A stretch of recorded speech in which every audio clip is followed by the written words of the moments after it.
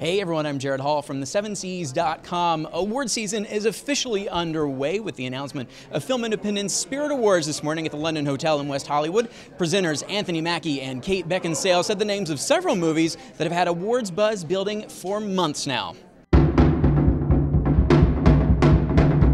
Artist has garnered a lot of praise in Hollywood, bringing the silent film into modern times and leading the Spirit Awards with five nominations, including Best Feature. Something really spectacular about how something so old can be so new again. Yeah, and the fact that I think, I mean, I, I saw a screening of it where, that Harvey Weinstein was speaking at, and he was very, very funny about how, you know, trying to kind of attract money for this movie where he has to tell, you know, the people, well, it is black and white and it is silent, and you know, the horror, the thought of that. And then within, I mean, I think within 25 seconds, you've got over any sort of prejudices about that, and you're just completely involved in this beautiful story and lovely performances. The artist is joined in the Best Feature category by nominees 50 50, Beginners, Drive, The Descendants, and Take Shelter, which ties the artist for most nominations.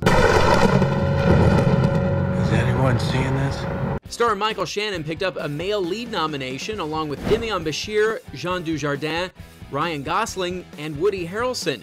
The lead female category includes Lauren Ambrose, Rachel Harris, Adepero Oduye, Elizabeth Olsen, and Michelle Williams. Congratulations to all the nominees. Thank you all for coming, and we look forward to seeing you again on February 25th back on the beach in Santa Monica, drinking Jameson. Congratulations. for a full list of the nominees and for full Film Independent Spirit Awards coverage, log on to the7sees.com.